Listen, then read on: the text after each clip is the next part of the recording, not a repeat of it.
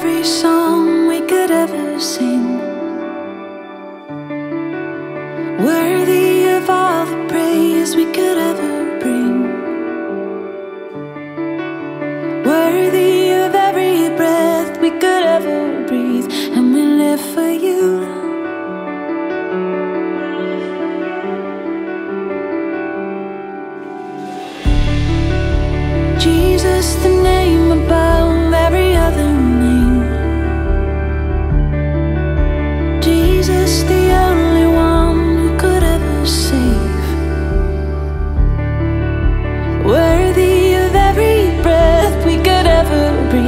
And we live for you.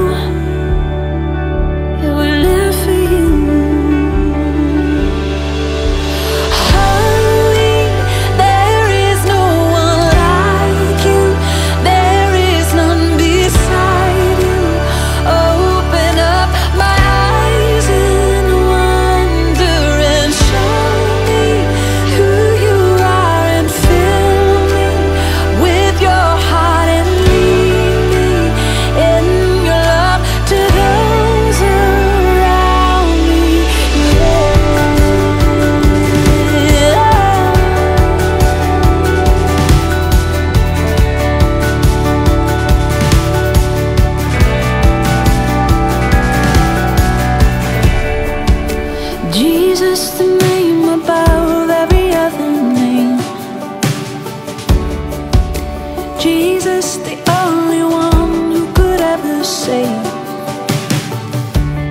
We all have family and people that we treasure and love. Think, oh, I would totally give my life for them. What about somebody that you you didn't have a guarantee that they were ever going to love you back? Would you give your life for them? Well, when you put it that way, you realize we're pretty much outloved by God. Outloved by God. We cannot love the way He loves.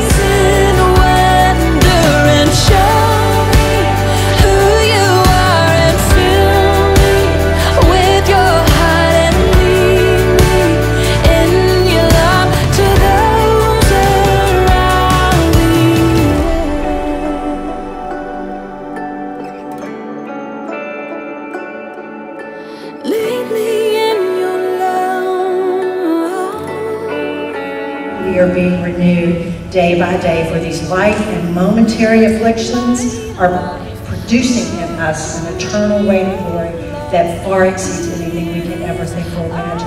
And so that's the hope we have. So while we um, talk about the comfort that the Lord gives us, that we can give out to each other, and we hear about uh, the hardships that are in this world, we never ever leave without hope.